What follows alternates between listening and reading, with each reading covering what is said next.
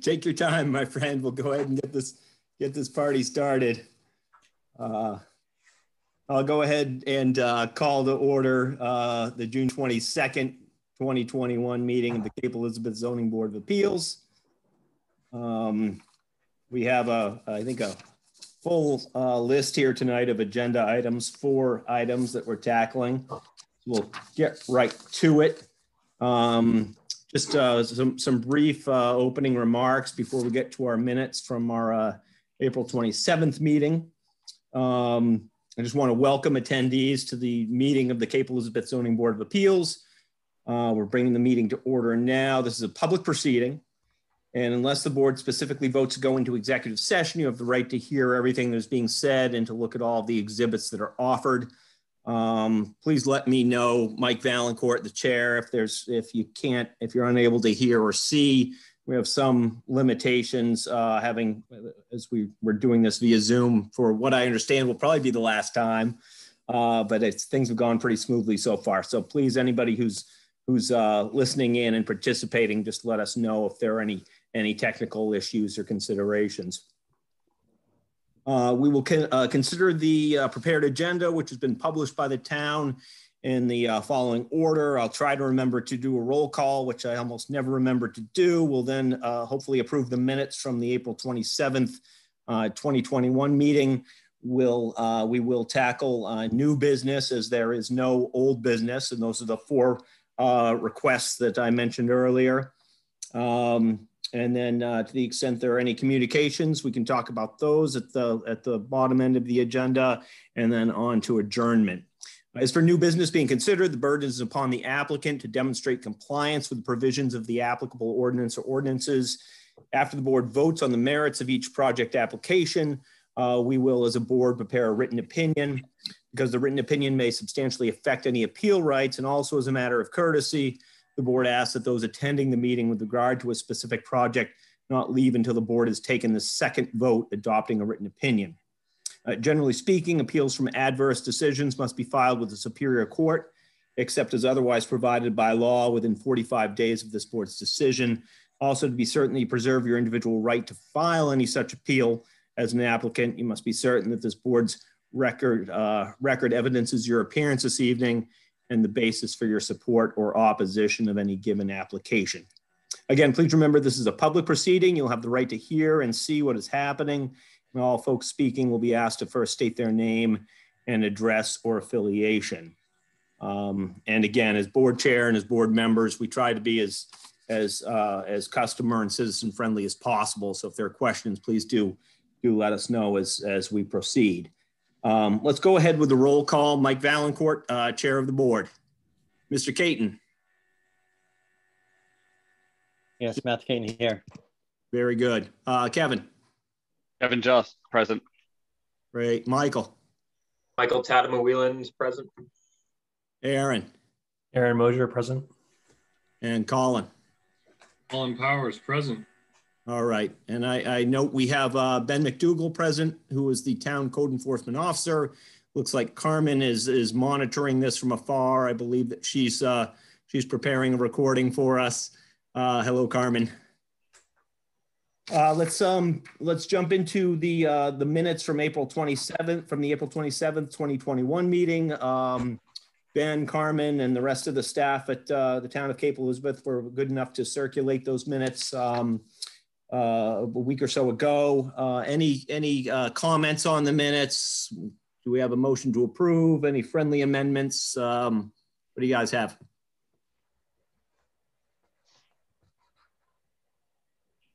I would move that we approve the minutes. All right, so moved by Kevin. Do we have a second? Second. Second by Michael. Uh, discussion on the minutes.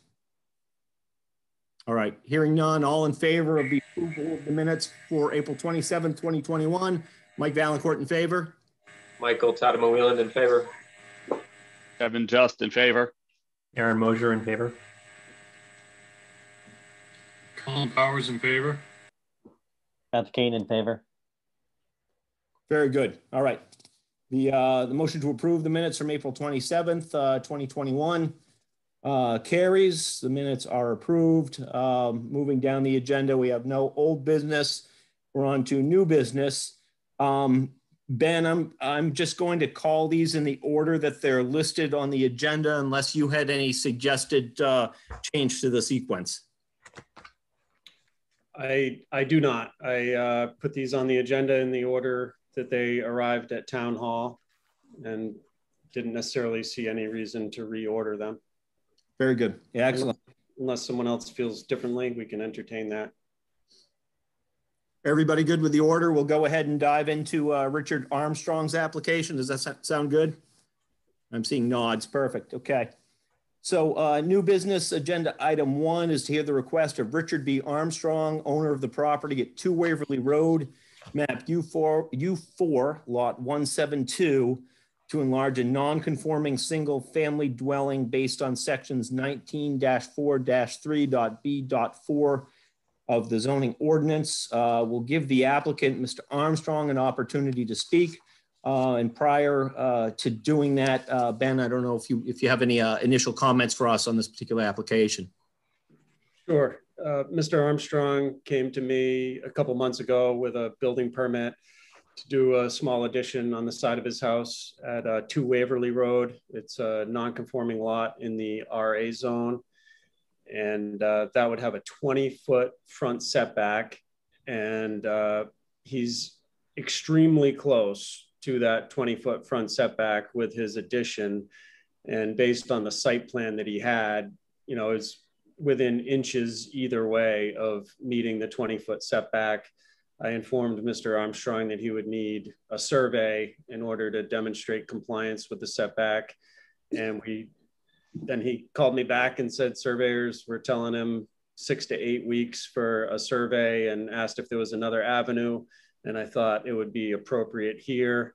Uh, it is a non-conforming structure. He's expanding a non-conforming structure and the addition is either within inches of the front setback or it could be inches out of the front setback, but I think it's safe to be covered here this evening. Clarification, Ben, you said RA zone or is it RC? It is RC zone. RC, okay, Said RA, that was a mistake. no problem. All right, uh, thank you for that, Ben. Um, if there are any objections, we'll go ahead and uh, hear from Mr. Armstrong on his application. Mr. Armstrong, are you, are you with us?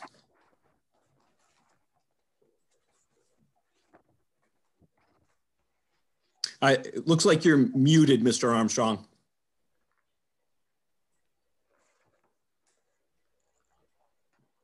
Do you have me now? Yes. I can hear you loud Oh, and clear now. Thank you. Good. Do you want a video? Yeah, what'd you put me so they know what I look like?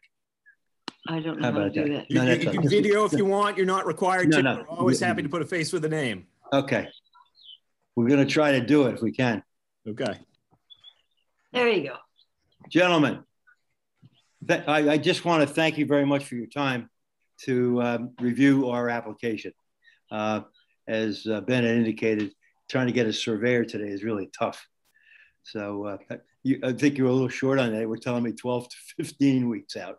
Hmm. But uh, anyway, uh, what we're doing is we're adding a very small addition, 11 by 13 to an existing room. Um, the way, if you'll uh, look at the site plan that our architect prepared, she set that back a little bit.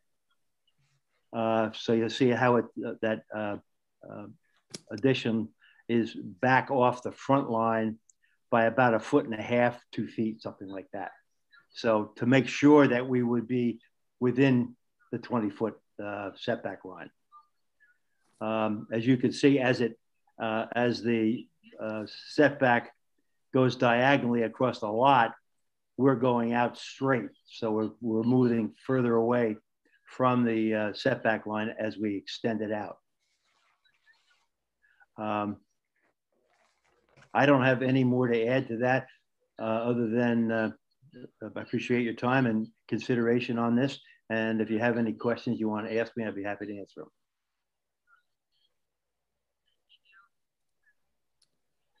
Very good. Yeah, we, we will go ahead and uh, open this up for um, questions. I guess before we, we do that, um, Ben, I know that there were, there were a couple of emails that you'd forwarded along from uh, folks. I don't know that any of them related to this particular application, but a- any feedback that you've gotten from, uh, from members of the public? I haven't had any feedback on this item. Okay, all right. Questions for Mr. Armstrong from, from the board? And you're muted right now. So Mr. Armstrong, I've got a question, Mr. Chair. Yes, Um, so I'm looking at the, the, the diagram, the site plan, and it looks like the addition's, you know, small compared to the size of the house. And it looks like the, the front side toward Waverly Road is actually set back further from the, the front line than Right, the front of the house is. Okay. that's correct. And then it goes straight out. Right. And so there's a que- sounds like there's a question of that little bit of of of new building right next to the existing structure might be we don't know exactly where it is. exactly. That's, that's why we're doing that. But that was the purpose of her setting that back. If you'll note, that doesn't come to the front line of the existing structure. It's set back a little bit. Okay. And Ken, I mean, not just not really seeing close closely looking at the interior plans. Is it practical at all to move that structure back six inches or a couple feet? No, because we have another, uh, we have a bathroom there and the structure, and it would, it would conflict with the bathroom. Okay. And it, it would kind of throw everything out of line. Okay, thanks.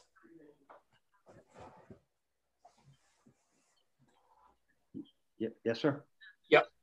Uh, Hi, Mr. Armstrong. Um, Very straightforward application. Uh, You know, I don't see any, um, no, no big concerns with the, the proposed plan. I get my, my question is, um, where, where did the boundary information uh, come from that is on the, on the, the site plan prepared by your architect? That was, that was uh, obtained by us at, at closing from the previous owner. Yeah. Oh, so is that a, uh, like a mortgage survey That, I believe it is, yes. which are notoriously inaccurate, uh, unfortunately. That's Um, why I'm here. yeah, no, I get it.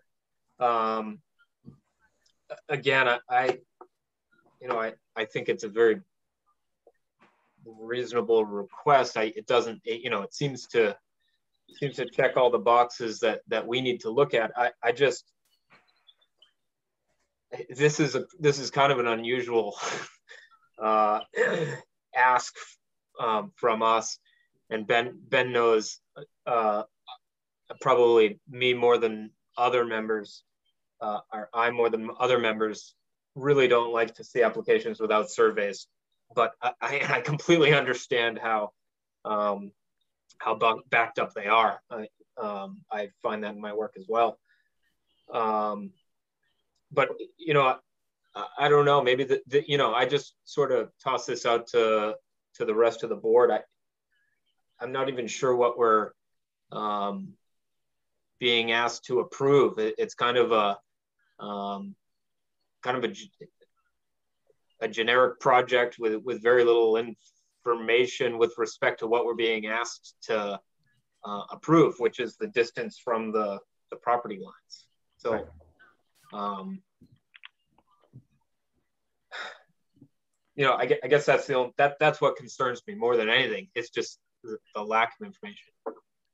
Ben, you got something to Yeah, Ben, and I know Kevin's got a comment too, so uh, go, go for it, Ben. I, I would just say that, you know, it, this does appear to be a non-conforming structure based on the information we have.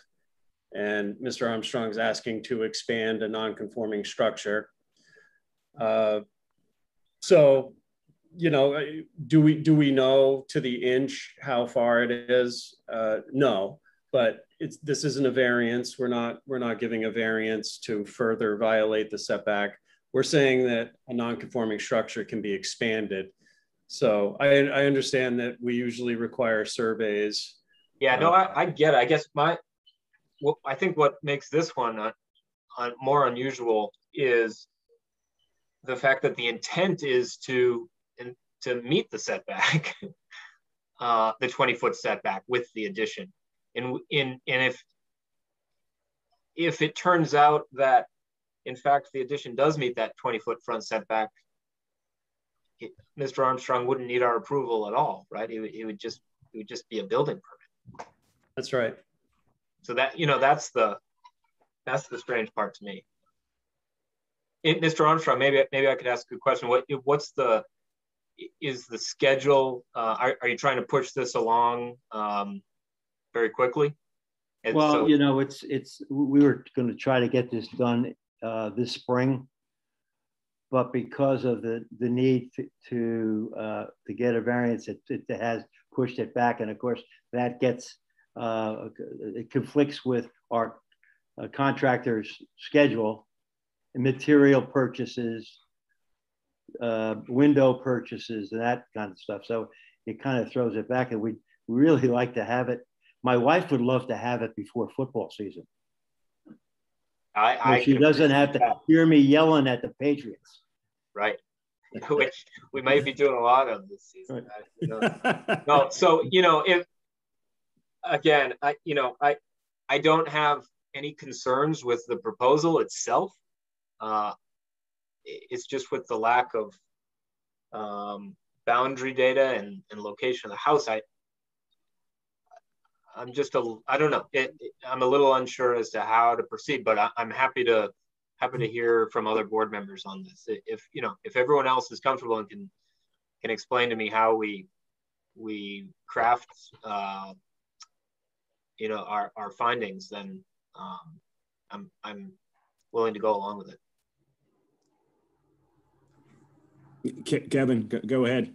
Yeah, so so Mike, I actually have this, the same thought on the survey and, and was wondering if this was kind of perspective, but um, I mean the way I sort of square that circle a little bit is the survey is still going to be required um, regardless, and so the downside is, and and I, I believe you know this this addition, even if the addition met the setback, if that original house has encroached on it, it's still an expansion of a non-conforming structure, so it would still require our approval for that. The downside is it would it's a conforming structure and it doesn't need our approval. And what all we've done is said, you know, and, and maybe we craft this in the findings. If it's a non-conforming structure, it's approved under this section. I, And if I it's think conforming ben structure, can, doesn't need it anyway. i think ben can approve that addition even even if the existing building is non-conforming and the addition is conforming ben can't you just approve that uh, per that section Yeah, if that addition met the 20 foot setback, then that, that would be a building permit that I could approve. even though the the existing house is non-conforming Right, but you know, if you're you're saying they're showing this in a conforming location on the plan, so if they moved, if they moved this addition one inch closer to the face of the house, you'd be comfortable approving it? That's a very good question, Ben. maybe, yeah, maybe maybe you should have done that. I would have uh, I would have short circuited my my argument right away. Um, again, I yeah, I I guess I just I don't see the downside to to approving it, um, even prospectively. Matt, Matthew. Thank you, John. Just, um, we were talking about some of the substance here and whether those are comments for the executive session and whether we should just focus a couple of queries um, uh, for the applicant. And the, the query is that I have for the applicant is suppose that um, you receive permission from the board and um, at some later point it gets built and, and as the board member Kevin mentioned, the survey is, um, is provided and that the um, the new room is found to be non-conforming. It's not built where it's supposed to be. What then? Um, because the, the the argument is that either you have to tear it down or remove the portion that, that's uh, in the setback. So there's a risk there. Well, I perceive there may be a risk here, um, because what we see is that um, it's referred to as the site plan, but I'm not really comfortable to, to, to rely on it as to where the boundaries are and the setbacks are. And so, in, theory, it could be that um, this is not accurate. And so, have you considered that as a possibility, Mr. Armstrong?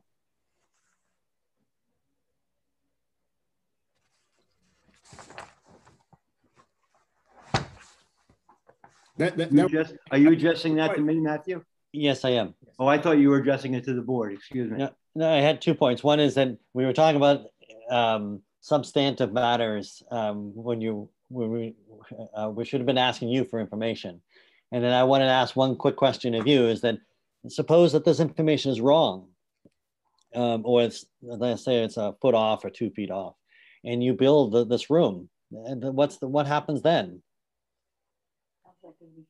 Well, um, I, the, the only way that I could I could answer that is to say, you know, um, we're doing everything we can to move it further back from the ori- the existing house, which is non-conforming. We purchased a, we purchased a, property, okay, that was already non-conforming. We're adding in a direction that's not in the direction of the street. Okay, Mike, my this is the way I I um, I think of your application is we had a a house um, over near the school, and it was there for a long time. They measured incorrectly, and part of the garage was in the setback. Um, and there was very little remedies available to the owner of that property. Either you chop off the portion, uh, or you seek a, an, a things in agreement with the town um, not to be in violation. And so my my thinking here is that that's the risk here. Could be remote, could never uh, come up, um, but you know we are thinking about approving an application that looks great for football season, uh, but until we know where the lot lines are and the setbacks are, it's somewhat um, not accurate. Yep. Ben, Ben? I, I think this situation's a lot different uh, from the from the one you were speaking of, where where that one just came sh- straight toward the street and needed a variance. Uh, I mean, the reason why this is here is in case this front property line is two, three, four, five feet erroneous.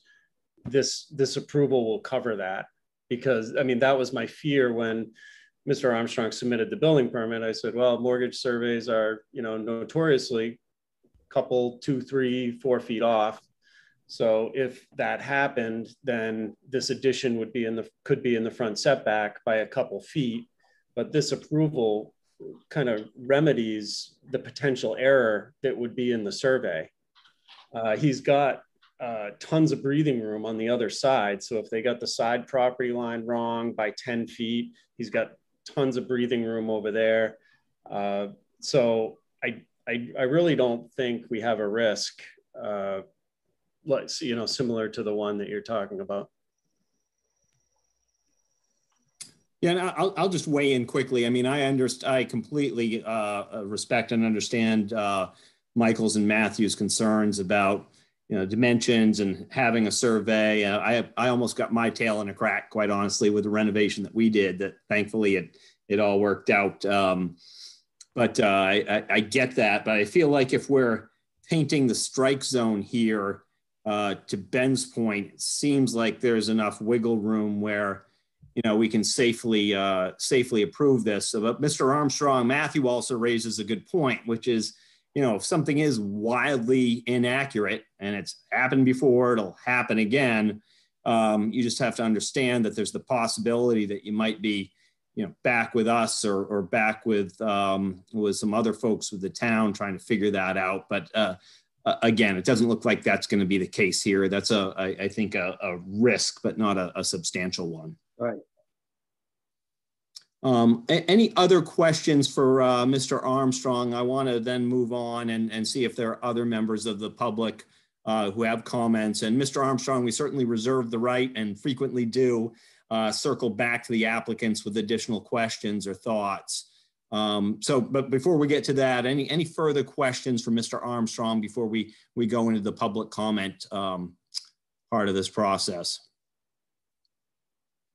All right. Hearing none, um, you all know how Zoom challenged I sometimes am. Uh, are there any members of the public who want to speak on uh, Mr. Armstrong's application? I don't see anyone. Okay, yeah, I, I didn't either, so, okay. Uh, I think we'll then move on to, um, board consideration. Um, thoughts, motions, etc. Uh, Michael, your hand went up first. Yeah, I'll, I'll just, um, I think we, we got a little caught up with, my fault, um, with uh, things that have nothing to do with what we're supposed to be, what we're really asked to review here, which is, uh, is the setback, assuming that it is um, closer than 20 feet to the front property line, does it meet the setback to the uh, greatest practical extent? Um, and, you know, to me, it, you know, just for the record, I, I think it does. Um, I, I, I, don't think it's going to have a, uh, a negative effect on any of the neighbors or on, I don't think it's going to cause erosion. Um, I don't think it's going to uh, result in um, uh, loss of substantial vegetation or anything like that. Uh, I think it's a, I think there's a strong argument to be made to approve it on those grounds. Um, and you know, after hearing other board members, I, you know, you know, I'm, I think I'm comfortable approving this. Um, uh, whether or not ultimately it it needs to be approved or not, and um, I'm not sure a survey uh, will be required at, at any point through this process. I know some members said, well, he's going to need a survey anyways, but I'm, I'm not so sure he will. I mean, maybe not a bad idea to get that surveyor um, scheduled and just sort of confirm what those final dimensions are, but I, I don't know that it, it, would be required. Um, but anyways, I, am I'm, I'm comfortable um, supporting this application going forward.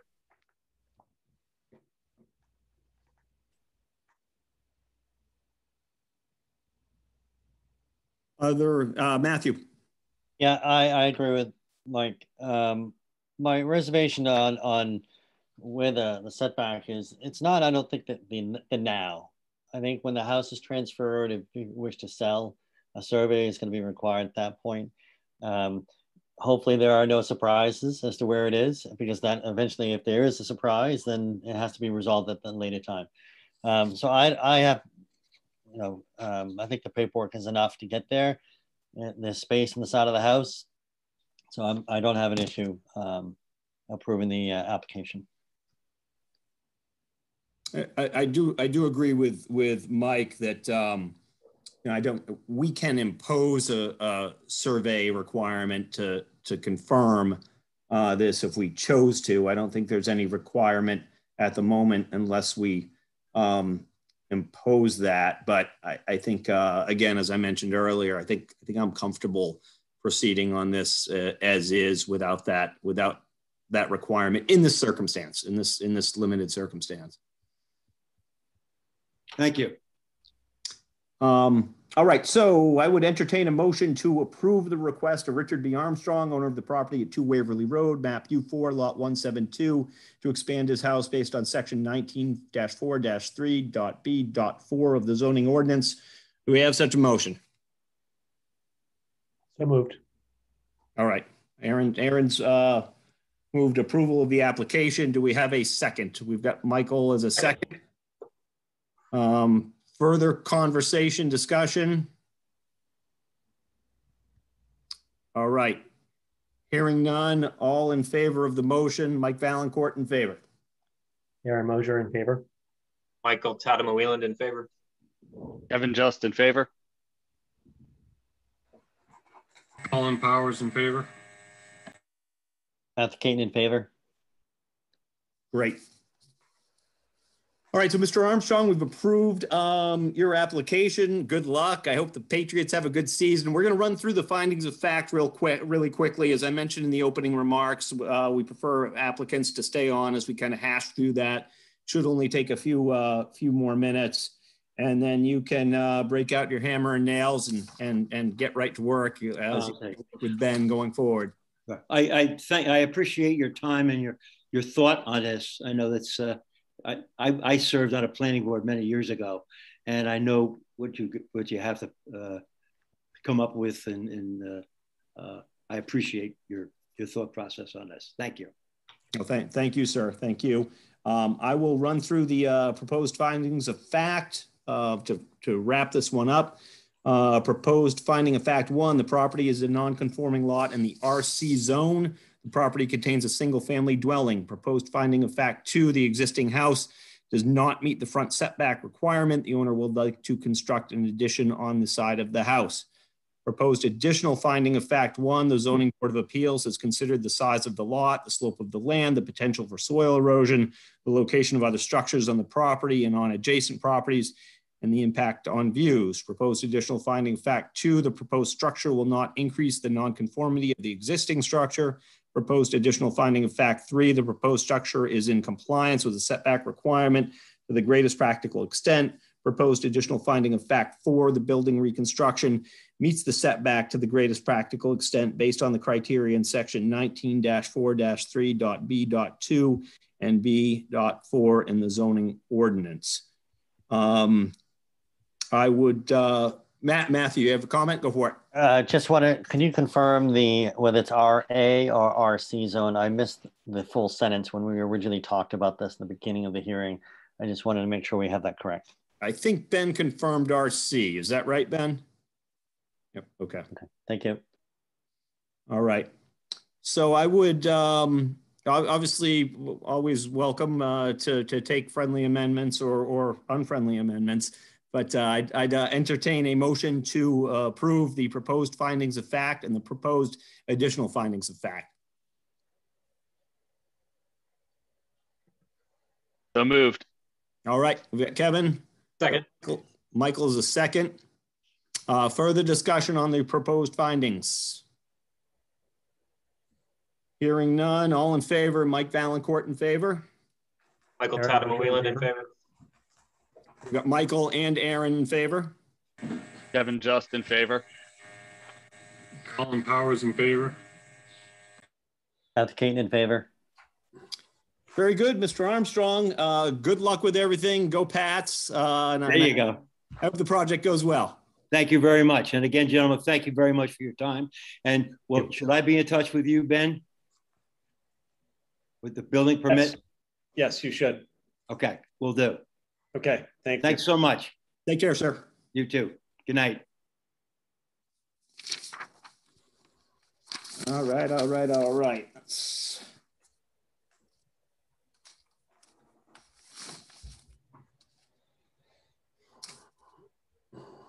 So we are on to, excuse me, uh, new business uh, item two, to hear the request of Ann Hill, owner of the property at six Crescent View Avenue, map U16, lot 54, for a variance to reconstruct and relocate a garage closer to the side property line based on section 19-5-4 of the zoning ordinance.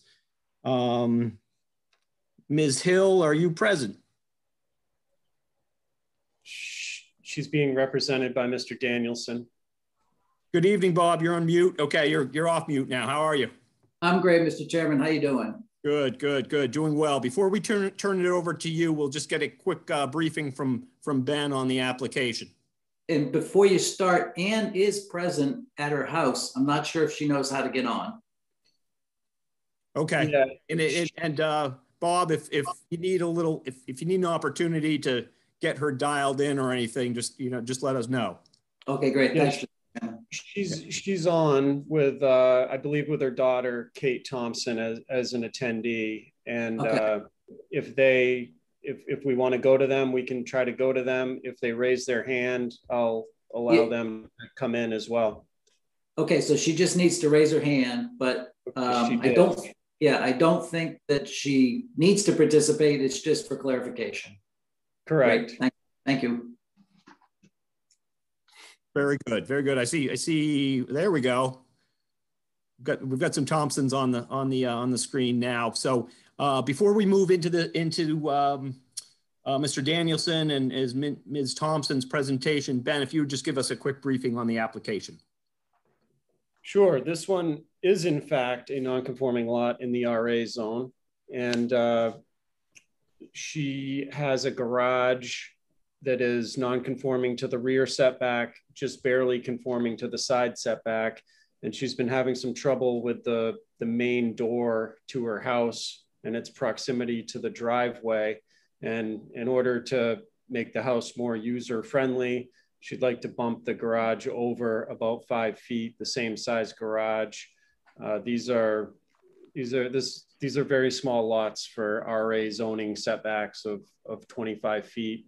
Uh, you know, 80,000 square foot zoning, and this lot is maybe maybe a quarter or less. It's 0.21 acres. Yeah, it's a uh, it's a quarter acre in two acre zoning. So it's a small lot with with difficult setbacks. Okay, and, and my my apologies, uh, Ms. Hill. I, I identified you as as as Ms. Thompson. That was the name that popped up on my screen. So my apologies to you uh, for that in, incorrect reference there. Uh, ben, thank you for um, for that in, information. Uh, and are there? Let me ask: Are there questions for Ben before we move into Attorney Attorney Danielson's and and Ms. Hill's presentation on the application?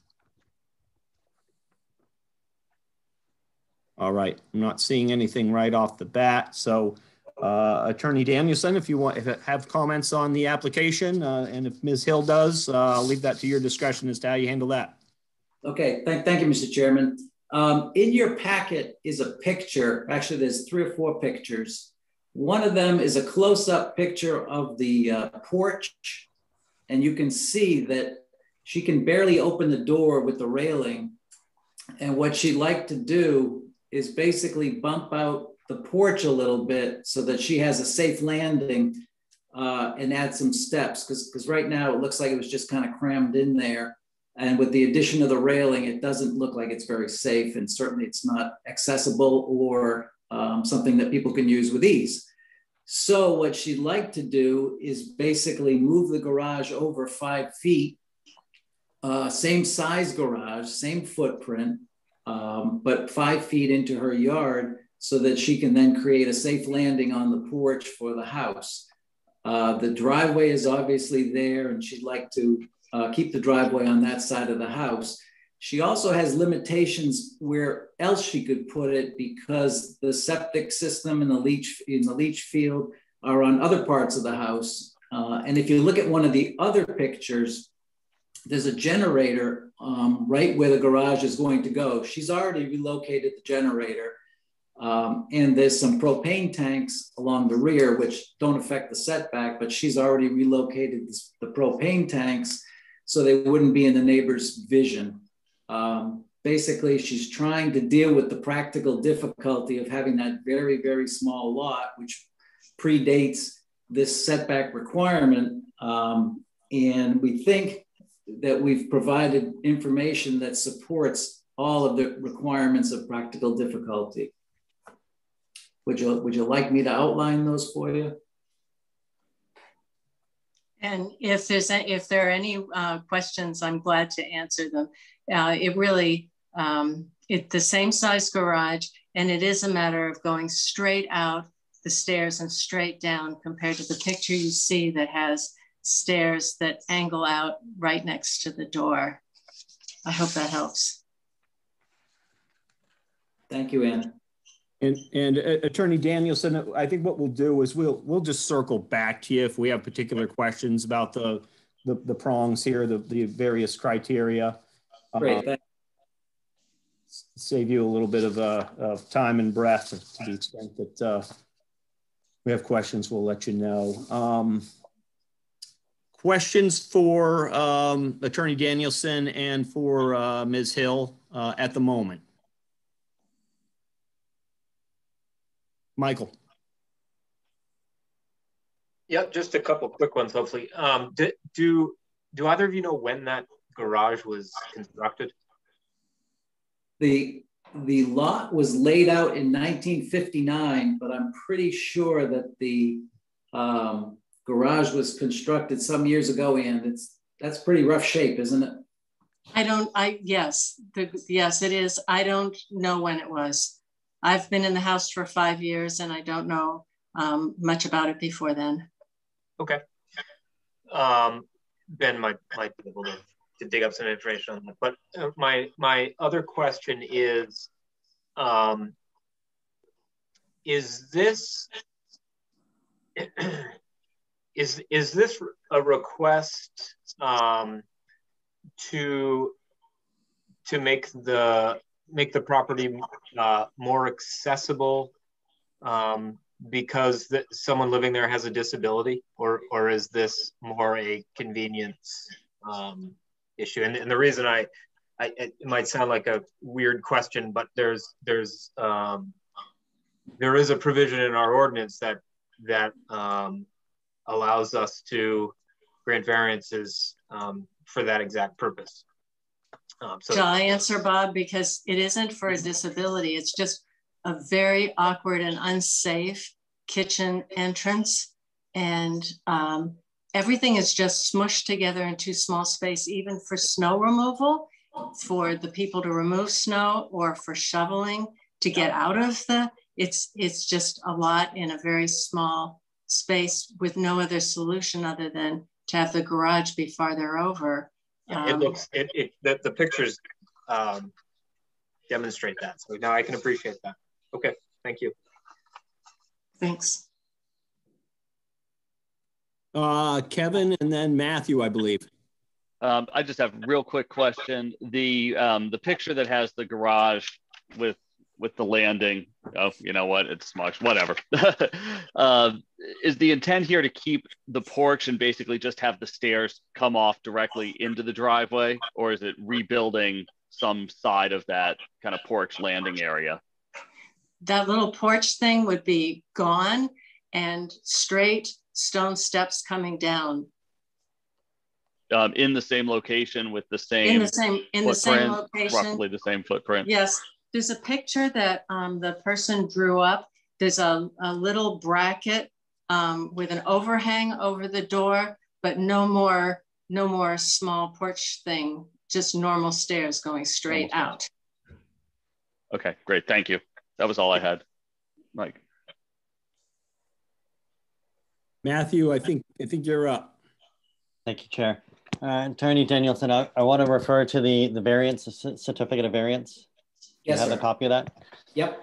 Could you assist us in explaining the significance of the variance and how it applies to I'm looking at the very large drawing where it has the proposed garage here mm-hmm. and the feet um, that's from the side setback over to the garage. Um, so essentially there's three queries for you. One is explain to us the significance of the variance. Second is how that applies to the drawing. Yeah. Uh, and this is still a registered document with the deed up at the registry. That that variance is not for this property. That variance is for the property across the street. The, the property across the street requested a 13 foot variance for to build a garage from a one unit garage to a two unit garage. And in 2010, the board granted the variance. The, the key part about that variance is that this neighborhood is trending on trying to improve all the lots. And there's a, there's a reference in that variance that there are more people in the neighborhood with non-conforming garages than there are otherwise. And what they're trying to do is they're trying to uh, bring their lots into conformity or have, have improvements that are uh, consistent with the neighborhood. And the person who got the prior variance was kind enough to share it with us and said, this is, this is very typical of what's going on in our neighborhood. And we thought that would be helpful for you.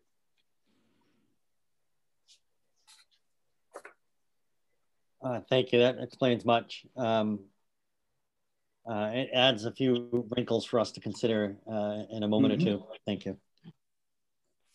Does that, that do it for now for you, Matthew? Uh, yes, thank you.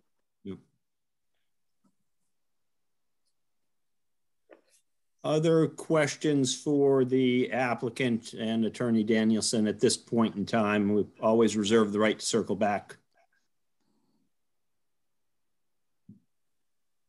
All right, hearing none at the moment. Um, ben, uh, did you receive any additional uh, input or comments on this particular application? I did. Uh, I received an email from Renee and Jim Lewis, and they're at 8 Crescent View. They're a neighbor in support of the application. Okay. Thank you. Uh, are, are there any other members of the public who are participating here this evening who want to uh, speak up and offer any uh, thoughts or input on this application? I, I'm not seeing anybody, but Ben, let me know what you're seeing there. I'm not seeing any. Okay.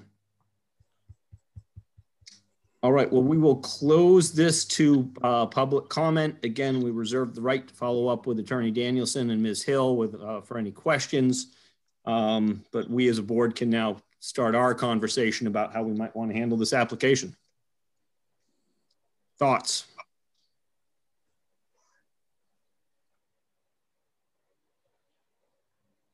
Matthew. Um, I'm struggling with the application um, just on a straight read of the ordinance. The problem that I have is the variance from the neighbor across the street or on the street. Um, you know, I'm more inclined to just replicate that variance because it seems to me that are we going to say that one neighbor should have something and another neighbor should not have? Um, so I'm struggling with the variance that was provided in the packet. I don't have an answer, by the way.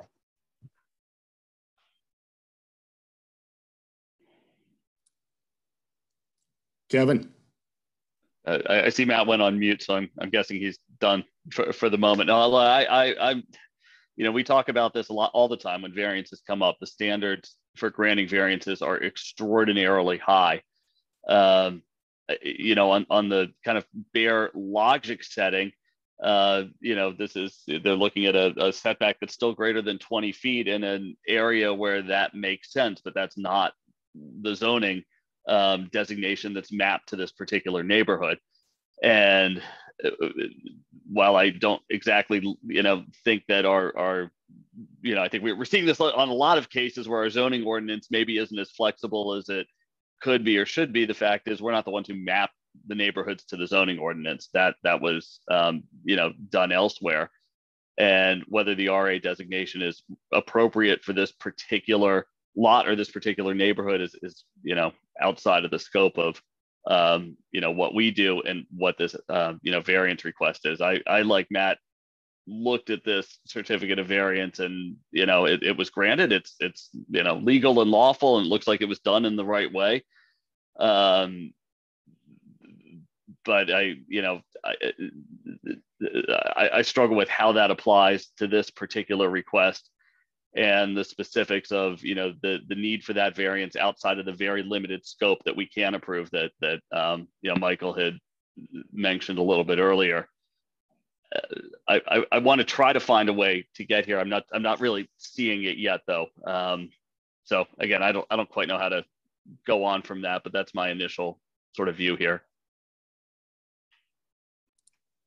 All right, thank you, Kevin. Aaron. Um, I'm not really seeing what the problem here is. Um, I think we've demonstrated, I think they've demonstrated practicable difficulty or lack of it rather. Um, I think what they want to do is necessary actually, and there's no other way to do it. So I'm not really sure why we are even looking at the one across the street. I mean, it's great that they provided it as, I guess, evidence of hey, people have done this in the past in, in the neighborhood, but I don't see why we even have to look at that and why that, I don't, I'm not sure why that opens a can, opens a can of worms.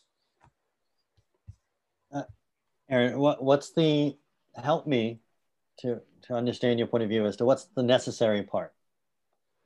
Well, I think looking at, as one of the members said, looking at the photos, um, that's, it's an impractical staircase that for safety reasons needs, should be made wider and made easier to maintain. And that renders the garage and the driveway uh, renders the garage a little less useful. But the one of the issues that we're going to come up against is that this practical difficulty was created by a previous owner. Hmm. And that practical difficulty is stuck with the property now. Hmm. Uh, so how do we get past that? You know, and the garage is up being operational today. You know, it's a fit, you know, it's manageable. But what I don't like is that a neighbor has something that this property apparently should not be getting. Mhm. Uh, Um, I, that sense of fairness bothers me here because I, why not? I mean, you know, you have neighbors supporting this neighbor, this applicant. Why not have the, um, the garage moved over a little bit? Okay, so the un- in your view, the unfairness was created when the people across the street got the variance. No. There's two things. One is um, the house is built and it has an odd way coming off into the, dri- the driveway. Um, when they're talking about getting a variance, it's not because of the, the act of the previous owner. It has some unique sort- set of circumstances. I don't see that here. What Mhm. bothers me is that a neighbor with a very similar lot can build a garage, a two-car garage, as close as what the applicant is now seeking here. And so, but for an example of this variance, um, this should be a fairly clear application that there should be no variance. That, that- that's my thinking at the moment. Okay.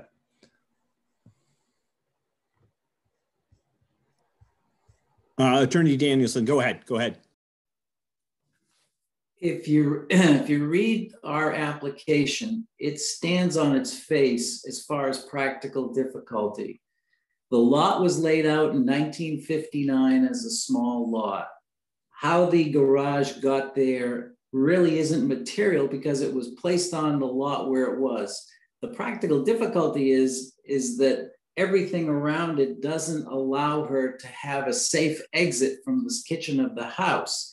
Now, what's there in existence now was right. It was smushed together, and somebody said, Oh, the heck with it. We'll just put where we can fit it. But that's not safe or practical. So basically, you're forcing this lady to try to open a kitchen door into the snow with a railing that's about two inches away. And all she's asking to do is to fix that. Now, we've outlined the criteria of practical difficulty in our application. And, and I thought we did a pretty good job of indicating that there's trends in the neighborhood. There's uh, the uniqueness of this lot is smaller than most of the houses in, I mean, smaller than most of the lots in the neighborhood. It's only a quarter of an acre has been outlined. And for this person to improve their property, it doesn't make any sense to keep it in the same location because she'd have the same problem with the access from the uh, egress from the kitchen. All, all we're looking at as, as an applicant is just the criteria of our application. We provided the additional variance as evidence that the town has granted similar variances in the neighborhood under similar circumstances. And the variance across the street was 13 feet into the setback. Ours is only five feet into the setback. And you can see from where the location of the septic is and the leach field, the generator and everything else, that this is really the only practical solution. It wouldn't make sense for her to put another garage where it is because she'd still be forced with driving her car past that deck um, that she wants to improve. I, I can't explain it any other way. Thank you. Thank you, thank you.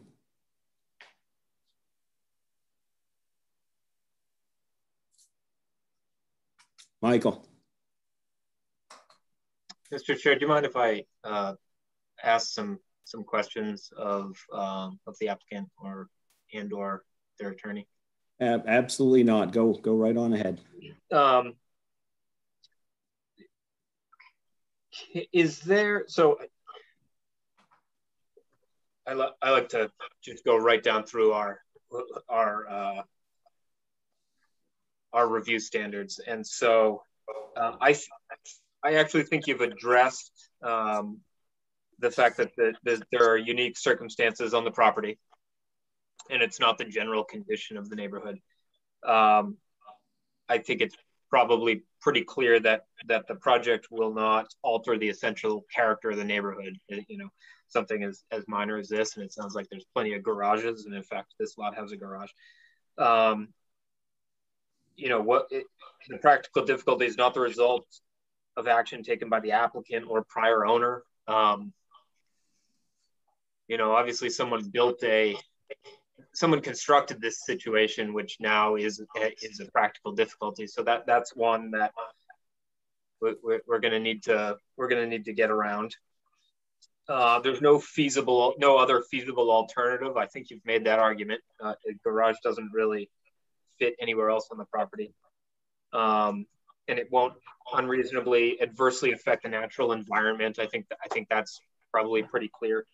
Um, when we when we get to, we, we also have to look at um, at the the standard, the practical difficulty standard um, talks about significant economic injury, and and that's defined as placing the applicant at a disadvantage in the neighborhood, um, and it would prevent the applicant from having a structure or accessory structure comparable in size, location, and number to those of other lot owners in the immediate neighborhood, but in no case fewer than 10 of the nearest property owners.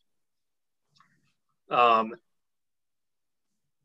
is that I and and I didn't see anything in the in, in, your application on that. Um, but but I may have seen that. I may in fact have seen that information in the in the other variants uh, the, for the for the neighbor across the street. I, I, think there was some of that analysis in there. Is is that?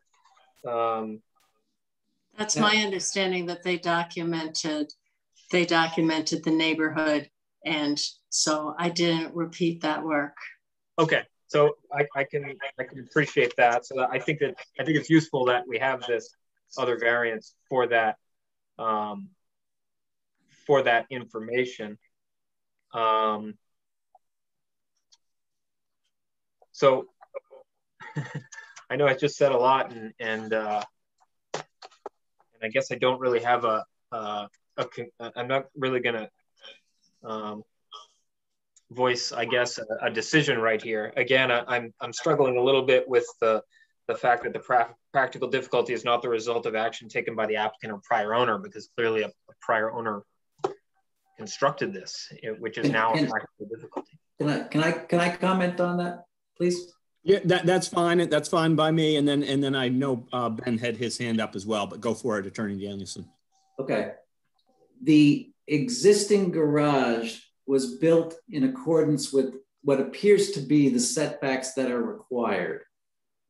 So the, the practical difficulty is that the existing garage was smushed in there, for lack of a better term, and all she wants to do is try to make a safe situation out of a situation that it isn't, it isn't non, I mean, it isn't that the garage is a bad garage right now.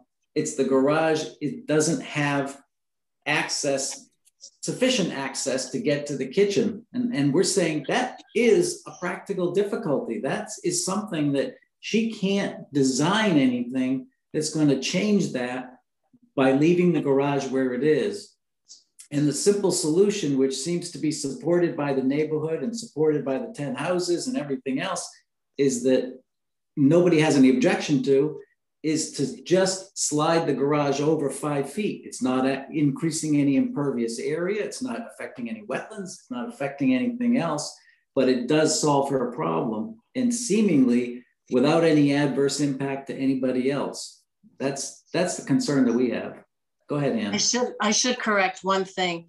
It is already too close to the back and, and just sliding it over, it wouldn't be any closer. It would be the same um, amount, same distance to the back.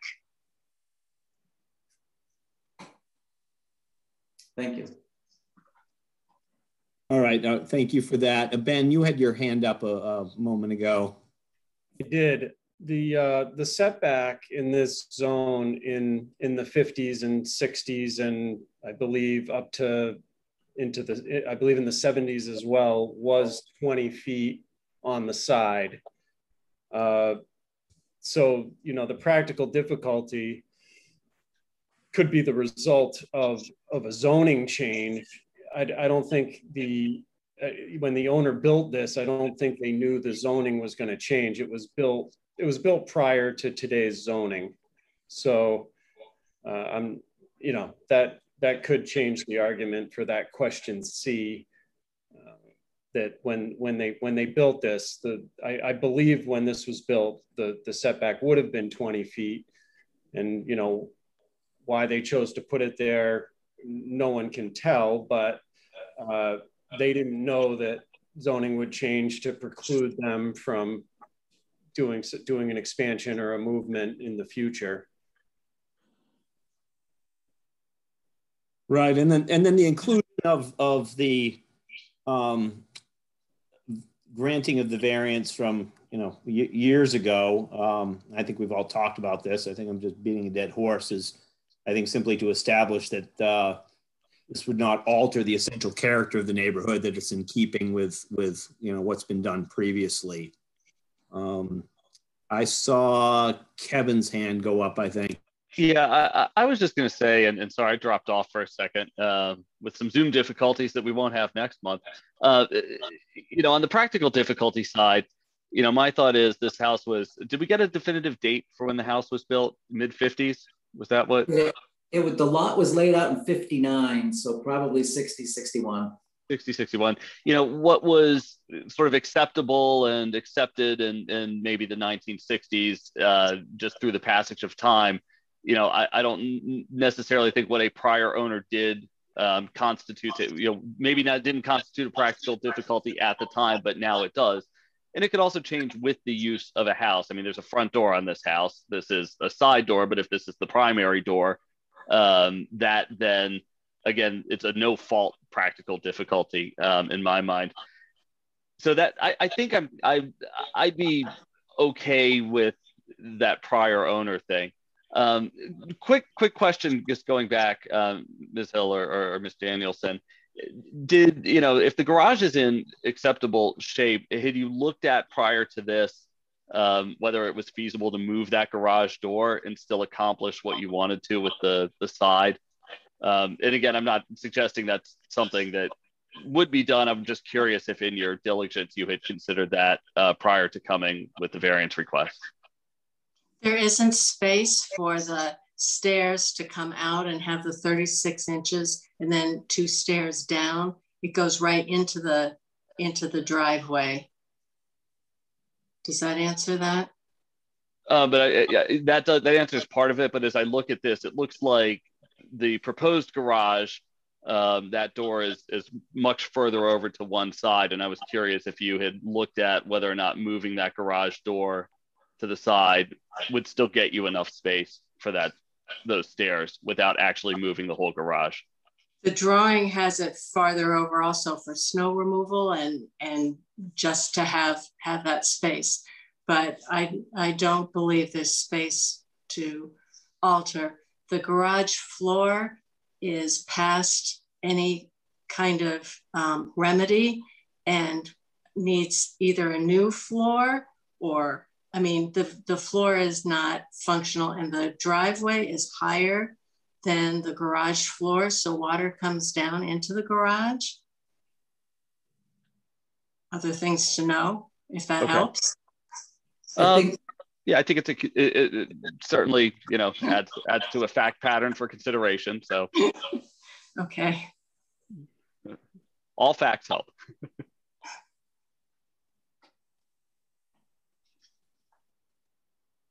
Um, uh, one, sorry, one final question. The picture that has the generator, is that the generator as relocated or was there a further no, relocation? That was before. The, the generator and the propane tanks are now over on the north side of the house. And that's the side that has the leach field, the whole um, side yard. Um, yeah. So they're not there anymore. The back side of the house, correct? The back side of the house had the two propane tanks, and the side of the house had the generator. And okay. the um, the email is from the Lewises who are on that side, and that's where the um, that's where I'd be moving closer to. It would all just be a lot nicer. Understood. Okay, thank you. That that's that's the extent of my my questions uh, for now. Thanks. Thanks. Matthew. Chair, I just wanted to bring everyone's attention to the, the variance. And I must say the variance is, I think, is the key for this application. I know it's across the street or down the street. And uh, I just want to refer to people's uh, attention to the third page uh, under letter C. And, this is where we're talking about practical difficulty. And this refer, uh, provides, I think, precedent for Ben's point. Um, and I quote, this is a question to uh, practical difficulty is not the result of action taken by the applicant or prior owner. And, and I quote, and this is underlined, uh, the law was created before the ordinance, and so the practical difficulty is not the result of any action taken by the applicant or a prior owner. Uh, close quote. That's a similar point that Attorney Danielson was talking about when the layout, the lot occurred. And I'm, I'm willing to let, you know, hang my hat on the variance as the basis to approve the application. Um, otherwise, I don't think there's, my, my vote would be no. I don't think they meet, the applicant would meet the application uh, under the ordinance.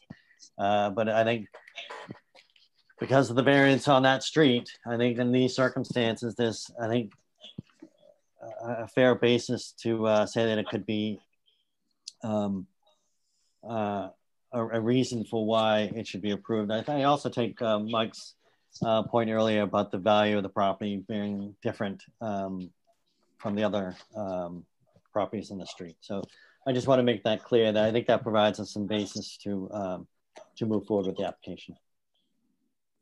And I, I agree, Matthew. I thought that was uh, helpful to know that uh, the dimensional requirements had indeed changed.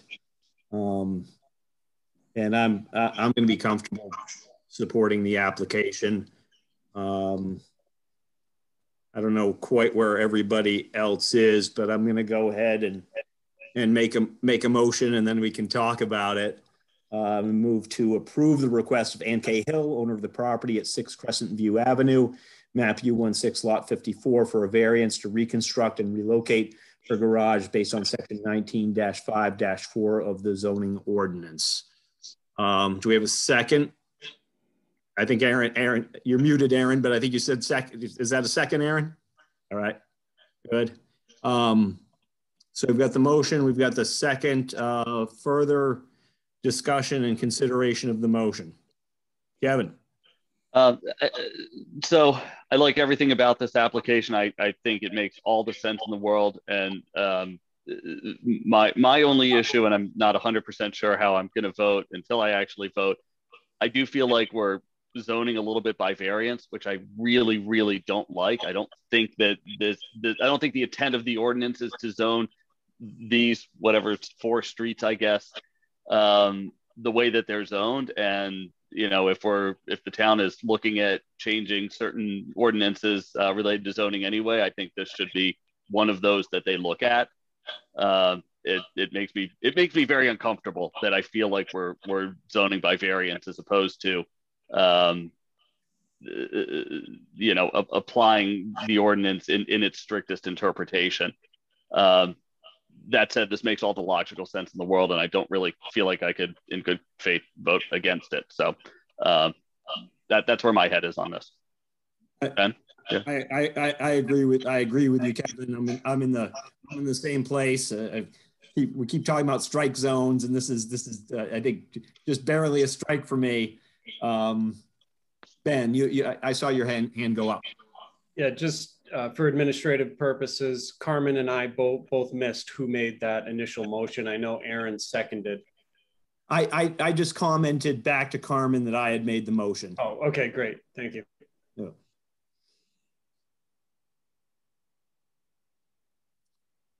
Further discussion from the board on the pending motion.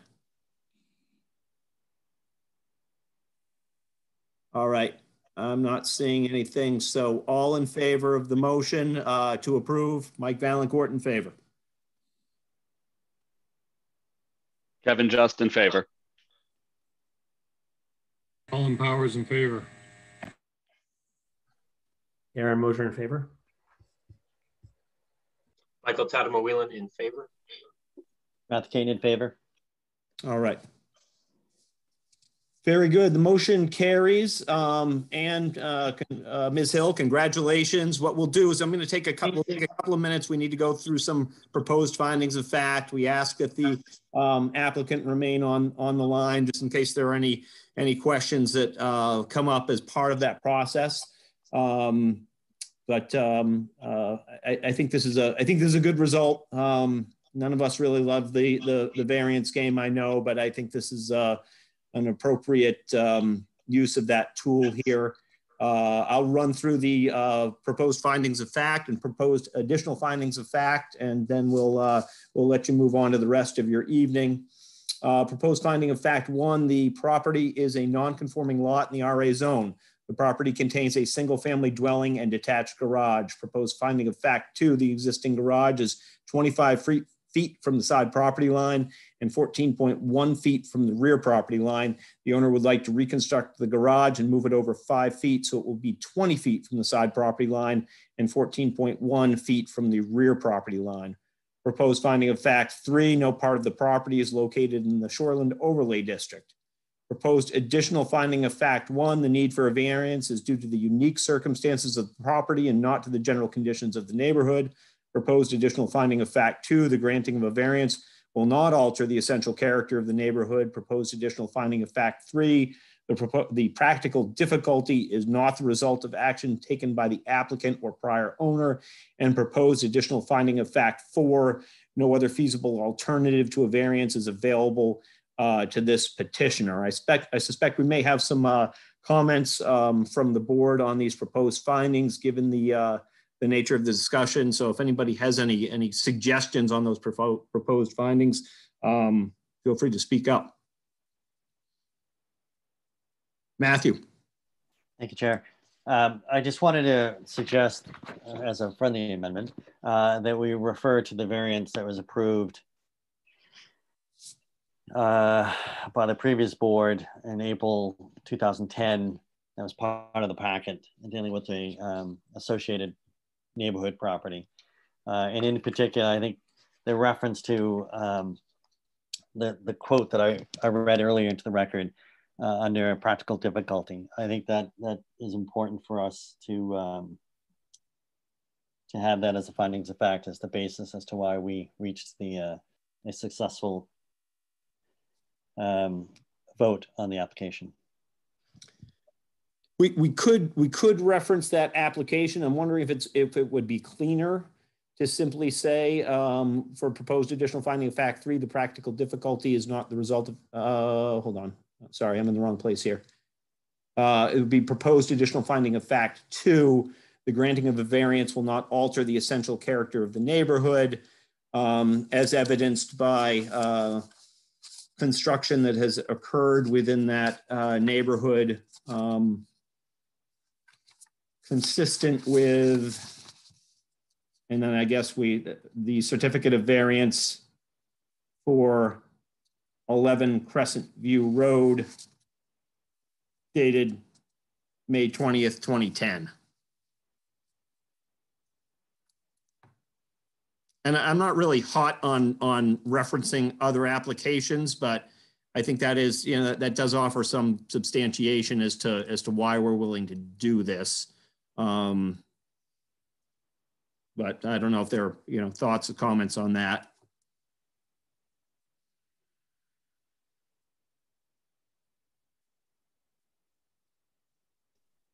Chair, I have no comment. I think that's that's fine. Uh, I just that um, there were points were made during the, um, the hearing. I think this covers that uh, those issues that were addressed. Kevin, what do you what do you think? I see a, a quiz. So I'm, I'm I'm the non the non lawyer uh, here. I mean, I think if we if we reference it once, we're effectively referencing the entire thing, which I don't actually have a problem with. It's recorded, it's of record, it's precedent. Where we clearly there's a recording of this meeting. We clearly have referenced it and and used it as um, uh, as material in our consideration. Uh, I mean, I'd almost add it as additional finding of fact five that the board reviewed and considered the certificate of variance and the findings of fact contained therein or something to that effect.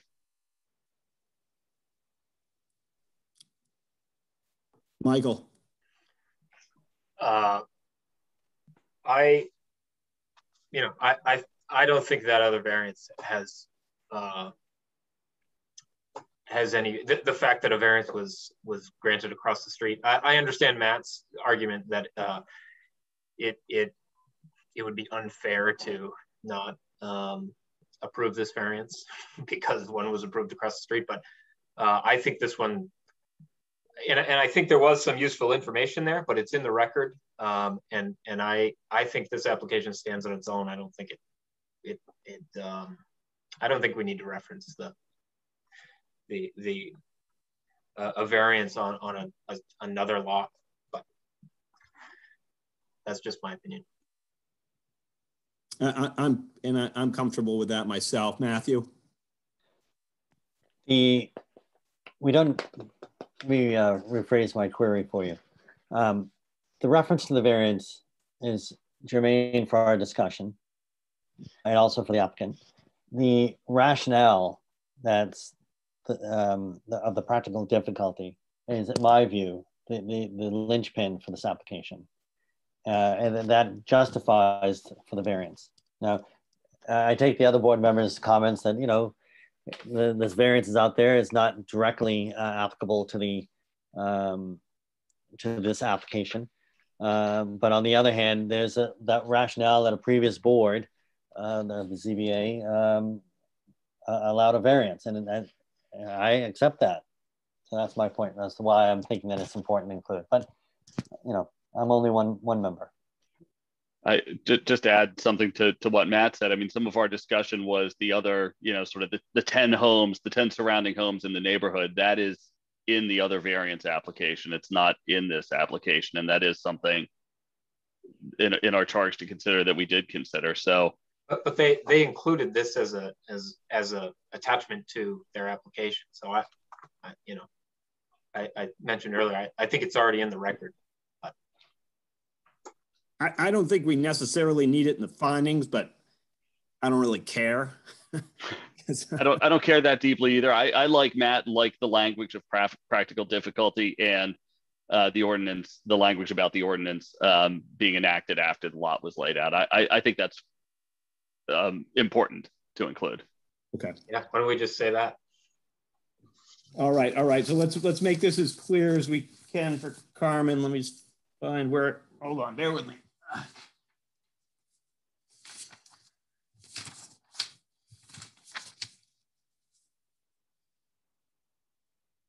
All right, so that would be under, let's see, proposed additional finding of fact three, which currently reads the practical difficulty is not the result of action taken by the applicant or prior owner. And I think what we would add is it, it is the result of a zoning change by the town of Cape Elizabeth subsequent to the construction of, of the home on the property. Does that sound right? Yeah. Okay. So we've got a friendly amendment then to the proposed additional findings of fact any other um, thoughts, comments on the uh, proposed findings and the proposed additional findings? If not, I would entertain a motion for approval of the proposed findings of fact, the proposed additional findings of fact with the friendly amendment to proposed additional finding of fact three relative to practical difficulty. Ben. Yeah, on on the other page, there's also the conclusion, which could also be one additional finding or a conclusion about uh, the practical difficulty. Yeah, I never do turn that page over, do I? I think I did this last meeting too. All right, so we so we do have a, a conclusion. So we've talked about the proposed findings of fact, the pro proposed additional findings, proposed conclusion being there is no substantial departure from the intent of the ordinance and a literal enforcement of the ordinance would cause a practical difficulty as defined by 30A MRSA section 4353 4-C. So with our friendly amendment, with that addition uh, of, of our proposed conclusion, uh, do we have a, a motion to approve? So moved. All right, we got Michael to move move that. Second. Second. Kevin, we got a second. Mike Valancourt, and, oh, any discussion, any further discussion? Okay, hearing none. Mike Valancourt in favor. Michael Tadema Wielandt in favor. Kevin Just in favor. Karen, uh, that was Kevin and Aaron uh, in stereo once again. Colin Powers in favor. Matt Caton in favor. All right, uh, the motion carries. Um, thank you, Ms. Hill. Uh, thank you, Attorney Danielson. Always good to good to see you, and um, good Thank luck you. with it. I hope it go, I hope the project goes well. Thank Great, you thank very very- much. thank you Thank you much. for your work and your thoughts and consideration. Thank you. Take care.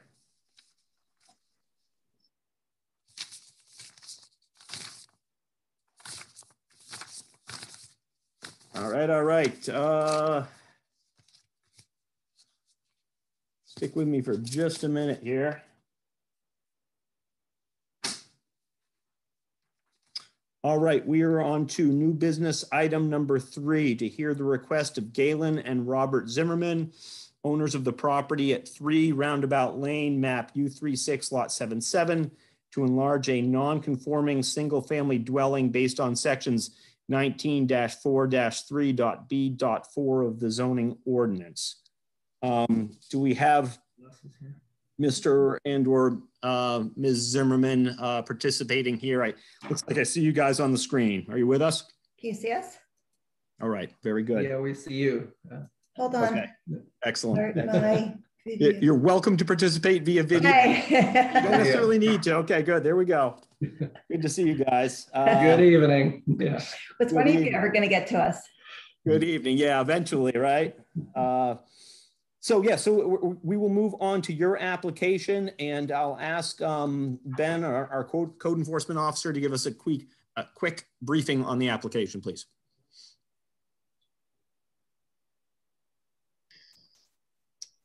Yes, uh, the Zimmermans presented a, a building permit application to do a vertical expansion on an existing two-car garage attached to their house. But a portion of that garage is within the 25-foot side setback line. This is uh, a non-conforming lot in the RA zone. And I was trying to trying to find my document to see exactly how far it is. It's uh, so the existing two, the existing attached two car garage is 13 feet from the side property line. And they, and they want to expand upward on that. And uh, when the, the Zimmermans told me that all their neighbors supported their application, I always chuckle when, when people say that because it's never in my life been true, but this might be the first time in my life that that that's actually true. That I, I think I received an email from just about every one of their neighbors. So this this is a first for me. That's just because we're so nice. I, I did see the emails coming in and I thought, oh, here we go. And yeah, I was, I was, I was surprised as well to see all the, all the support. So apparently, And a apparently phone call. you guys are, good- you guys are good neighbors. So that's a good. sign. Yeah, we all try on roundabout. Yeah. Um, all right, well, I, uh, uh, Mr. and Mrs. Zimmerman, we'll, we'll turn it over to you then uh, to chat a little bit about your application and, and what you're seeking and why you're seeking it, and then we can uh, take it from there. Absolutely. Yeah. So uh, what we've been doing is basically renovating the house as it goes, but um, our garage is the last step to it and uh, it is old. And so we're trying to build a new garage and we'd like to expand upwards, build a rec room. We have two kids. They're going to be teenagers soon. So we're trying to build some family space there um, and build ourselves a nice uh, bedroom to go with that. On the existing footprint. Yeah, it's all on the existing footprint. Um, we're not trying to get closer to the property line. The, the neighbor that is closest, his house is actually quite far away from us. We're, we're the ones that are close to the property line. That is our story. Thank you, thank you. We may have some additional questions for you. Yeah, no problem. Appreciate the input. Um, any uh, questions uh, from the board for uh, Mr. and Mrs. Zimmerman, Zimmerman at this point in time? Michael and then Kevin. Yeah, just a quick one. Um, I I see this. Um, I don't know if it's a. I don't know if you took this photo with a drone or what, but um, it's uh, it's it's great to show us um, sort of what it's going to do to or potentially do to views, uh, which is, as you know, some one of the things we have to consider. Can you can you just um, and, and I know that I know that street is is relatively flat. I don't think many of your neighbors are sitting sort of higher and, and looking at the ocean. But can you can you comment a little further on on the views that this? Yeah, that uh, the reason. Oh, sorry. Yeah, the, the reason why that is a drone, by the way. Um, our neighbor across the street was our biggest concern. She just renovated her house and went up um, for views. She actually can see right over our house as you That's her view. Um, and the, the reason why we're expanding over the garage is because it really doesn't affect anyone else. Um, and we were trying to show what the build would actually block for her. Um, she didn't have any concerns with it and actually approved it as far as I know. She called Ben, I Um, believe. Yeah. Okay, great. That well, that that's very helpful. Thank you. Yeah. That's all I got, Mike. Uh, Kevin, I think you're up, right?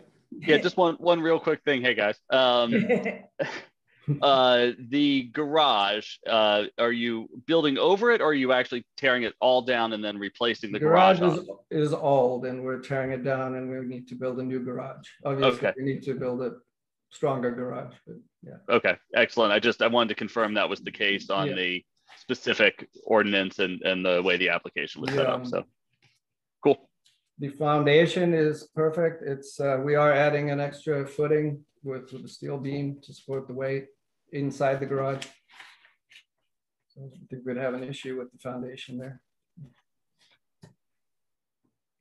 Great. Thanks.